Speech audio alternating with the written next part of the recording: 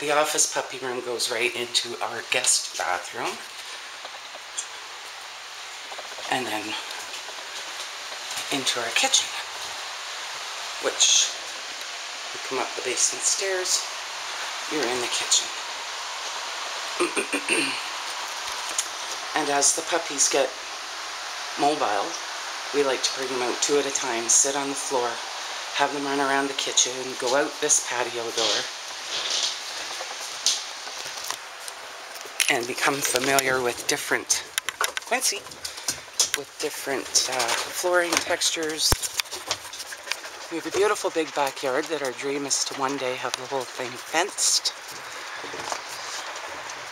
But in the meantime, the dogs have full run of a deck that is 40 feet by 12 feet.